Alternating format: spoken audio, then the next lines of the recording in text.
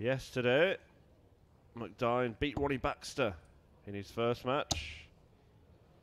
Before then seeing off Matthew Dennant. But lost out to Ryan Searle in round three. Worsley enjoyed a win against Ryan Palmer at this stage, but he was beaten by the eventual winner in round two, Darren Webster, seeing off the Womble 6-3. So both these players have already earned some ranking prize money this weekend. 140. But one of them will not be adding to that.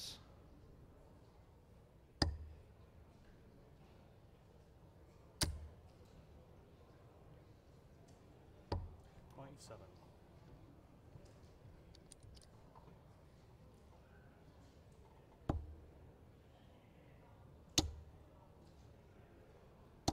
One hundred.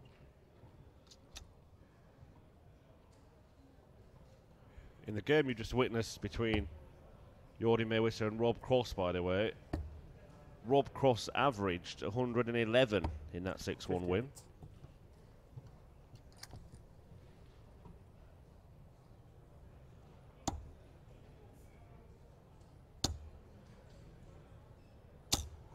Forty-one. And after five legs, he was an 119 average Rob Cross, so a real flying start to the day for him. 120. Well, that would have been a flying start for Worsley, but the bounce out stopped him getting further further down below 130. And McDine has the chance now. He'll get a dart at double, and it's double top. He's just checking that that dart's not in double top. It wasn't. Well, that one is, and that gives him the first leg.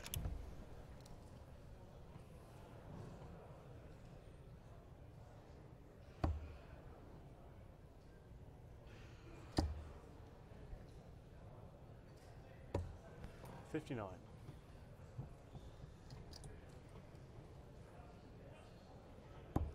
I did mention that the number one seed Simon Whitlock may find it tough going against Richard North because North is comfortable playing against Whitlock. They play in local events very often against each other. And have kind of been proved right because Richard North has sent Simon Whitlock home a 6 1 win for Rich North. The number one seed eliminated in round one. Just to bring you some more results from around the boards. Another seeded player, Steve West, is heading south Back home, he's been beaten by Barrie Bates 6 4. No such trouble for the number 8 seed Ian White, defeating Kevin Payne to 6 3. Cristo Reyes also a 6 3 winner. He's beaten Jimmy Hendriks. But Alan Norris, the number 4 seed, he's heading home as well, knocked out by Robert Owen in a last leg decider. Stephen Bunting has beaten Mick McGowan on our other live stream board, a 6 3 win for the Bullets. Ninety-six. But not only has the number one seed departed, so has the number two seed. Michael Smith beaten by the Brazilian Diogo Portela 6 4. In a bit of a shock result. Sixty. And the highest ranked player in the tournament, Jelle Klaasen, is also heading home. Clarkson beaten by Richie Burnett 6 5. Mervyn King also has departed. King beaten 6 2 by Ricky Evans. Number 3 seed Daryl Gurney taking full advantage of those departures, beating Paul Nicholson 6 1. And Darren Webster 58. once again off to a winning start, a 6 1 win for the Demolition Man against Mike Langendorf. Stay in touch with all results throughout the day at the PDC websites. Fifty-eight. pdc.tv.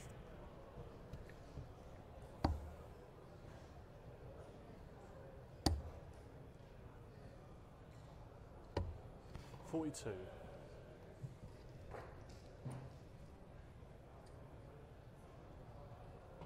Kevin McDine then eyeing up a 1-4-6 finish. Two treble 19s would have left him double 16, but that is 54. not on the table anymore. However, Jonathan Worsley not on any kind of outshot. Well, he might be frustrated by that because he's fired in a treble with the first start. Ninety-eight. Choices for Kevin McDine here. The gamble is firing straight at the treble 20, but he's gone for the ball. That leaves him 42. Double 16. 76.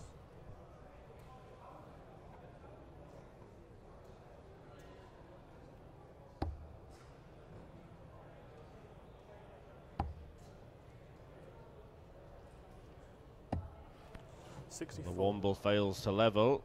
Can Supermac punish?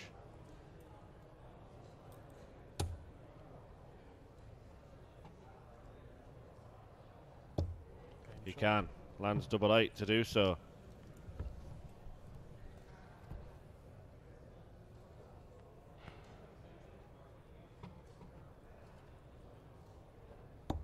23 dart load, just to put into context how well Rob Cross played in the previous match, it took him just 94 darts to finish off seven legs.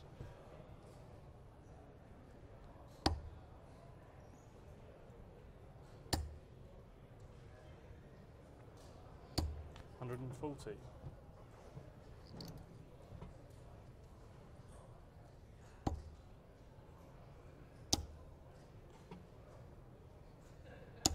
Sixty.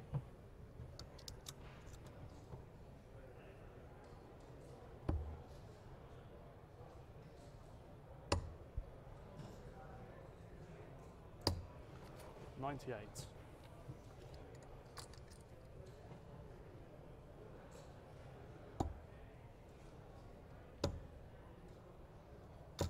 Ninety-six.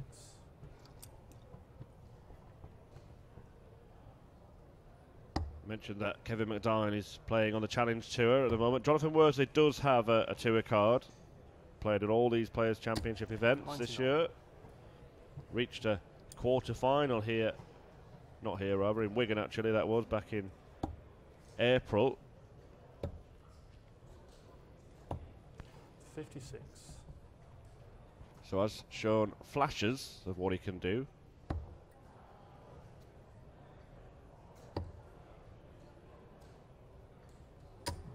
Hundred and thirty-four.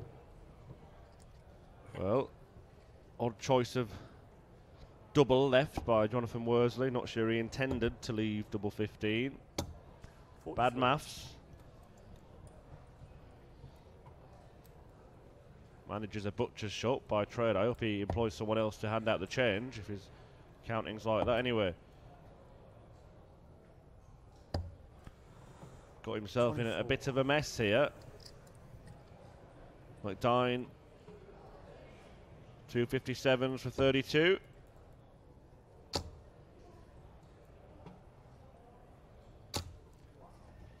Worsley returns. Break of throw. In prospect, double three required. And double three nailed by Jonathan Worsley to halve the deficit and get himself into this match.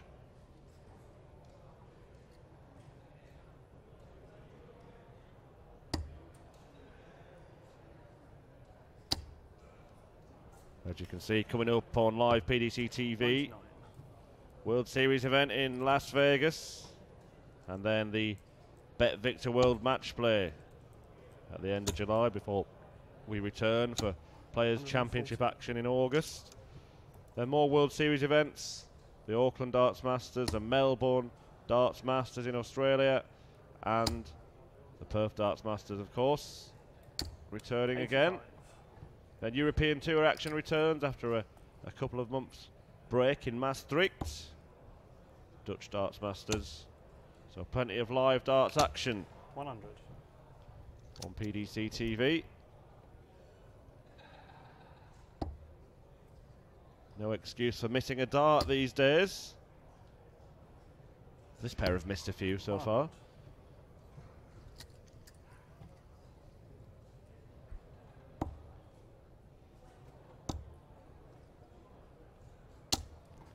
Eighty-five.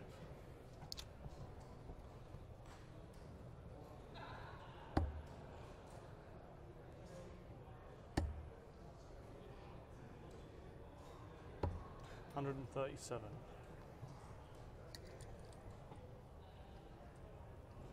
The qualifier for the aforementioned Dutch Darts Masters was held here in Barnsley on Hundred and thirty-four. Friday night. Kevin McDine unable to play in that, but Jonathan Worsley did He was beaten by Kyle Anderson. Now he wants double top to level up. 60. Fires low, and McDine with a chance to break again and restore his two leg cushion. Double 16 to do so. There it is. He's been handy at that part of the board.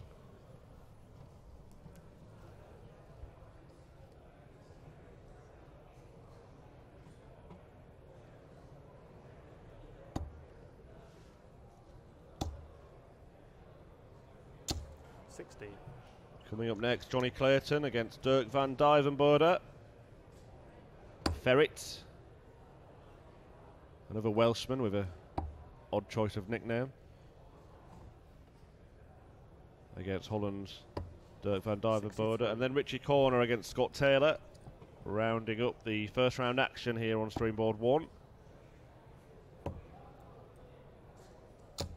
58. McDine halfway to the second round. Rob Cross. And on form, on song, Rob Cross waiting for the winner of this one. Is this going to be a max? 180. It is.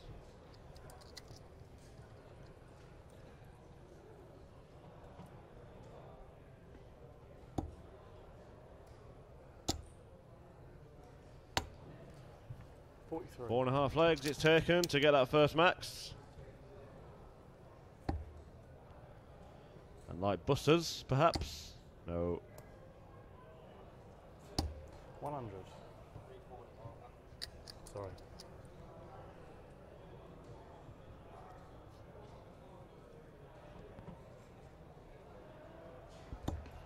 But Jonathan Words is down to a finish. Sixty. And again, looking to break back immediately. 158. He's got a couple of visits at least to clean this up. Another one of those would leave him double 19. 134. Just an act of tidying up. Leaved himself 24. McDine looking to apply the pressure. 140. And needed two trebles to leave a check out. But double 12 for the Womble. Could be awkward. But he's used it and found the target.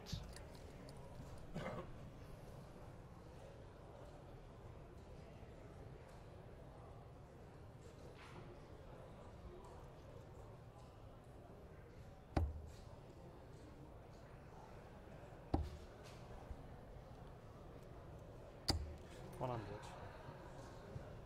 Worsley needing to do something he hasn't done yet, which is hold his own throw.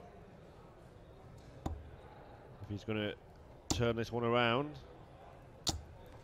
140. Five legs, four of them have gone against the darts.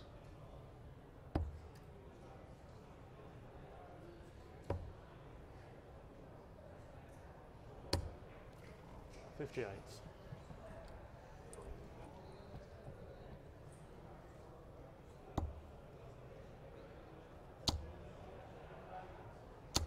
Eighty-one.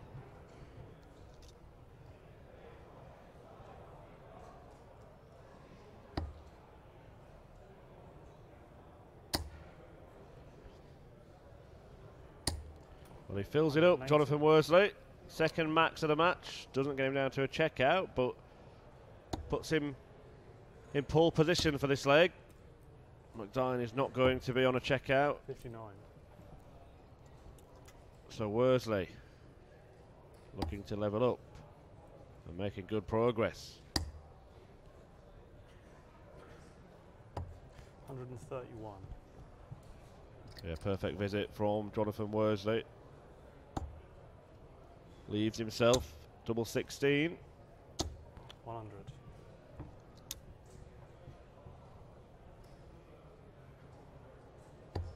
Game shot. and pins it, and he just seems to have found a bit of rhythm, bit of range.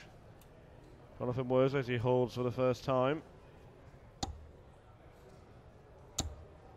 Now Kevin McDine is getting in on the act. He's first.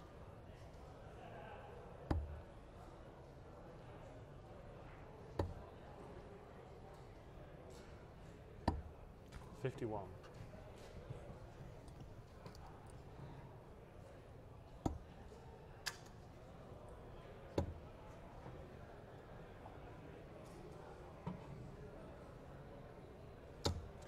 96.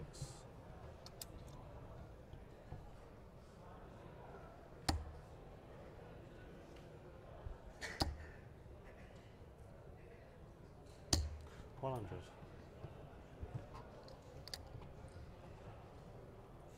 Good response from Kevin McDine Ninety-six. as he looks to edge back ahead. Twice seen a, a lead pulled back by his opponent. He did lead 2 0 and 3 1. Forty. 1 2 9 in front of him. 72 left. Eighty-nine.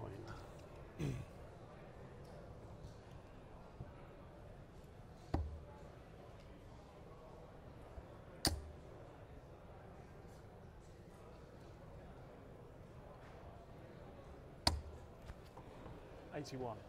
I'm just not sure he liked the lie of the first start. His darts do land pretty flat in the board. He can kind of stack them, but that was high in the treble. And Kevin McDine in the end lands double 10 to edge ahead once more.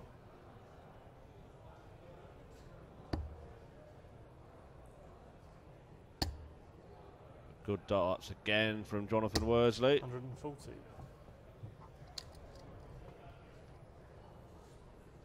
More results filtering through. Kim Huybrechts, the number five seed, has seen off Josh Payne 6 2. And Steve Lennon has defeated Andy Jenkins 6 1. Also a win for Huddersfield's James Wilson 6 2 against Jim Walker. And Benito van de Pas, a 6 3 winner against Andy Hamilton. Benito Benito's a number 7 seed today. 10th seed Joe Cullen edging out Rowby-John Rodriguez 6 5. Fifty-eight.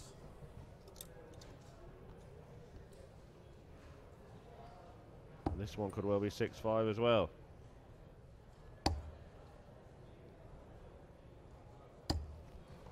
Forty-five. I can tell you that the semi-finals, the board semi-finals on our live stream one will be moved across from board five.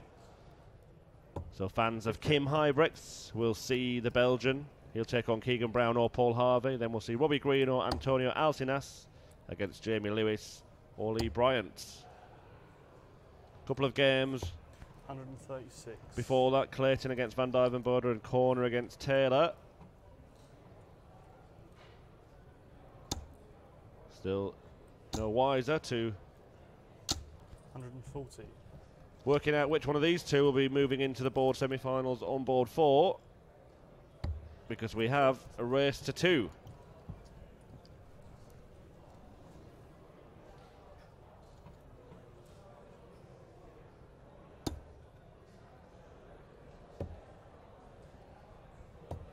Fifty-six.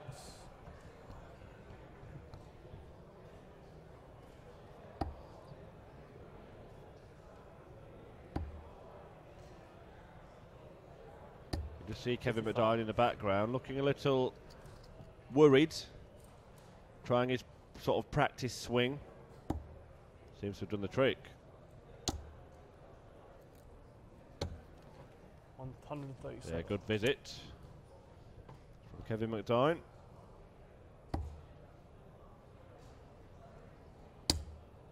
They have kind of followed each other in this match Seventy. most of the time, whether it's been good or bad.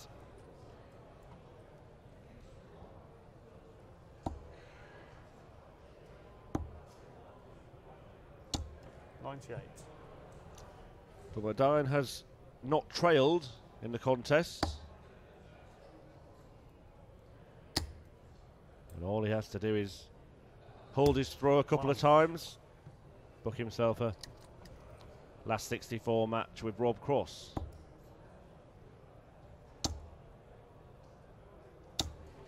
Hundred and forty.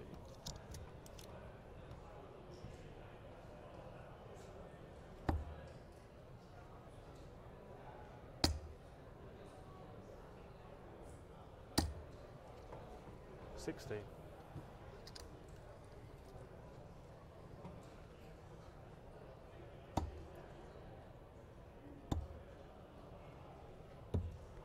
Thirty-eight.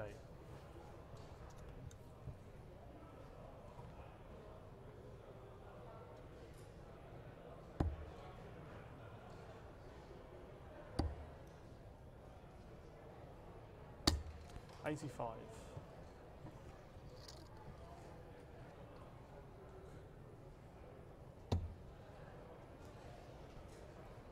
Well, McDine has made life awkward for himself. He stayed there for double eight and he's found the target. Made the throw a couple of feet longer from the distance he moved across the oche, but he managed to home in, find the double, and put his opponent at the point of no return. 140.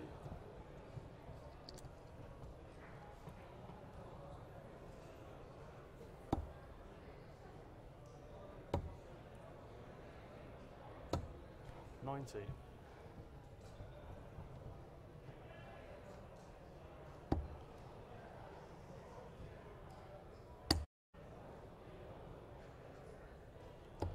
Forty-four. And Worsley can only muster up 44, so McDine has an opportunity to get the job done here. And it looks like one he intends to take. 140.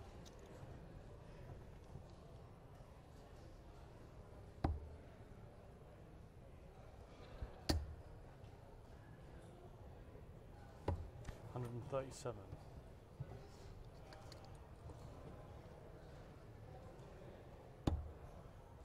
A wild one from Kevin McDine. You can see by his reaction what he thinks about that.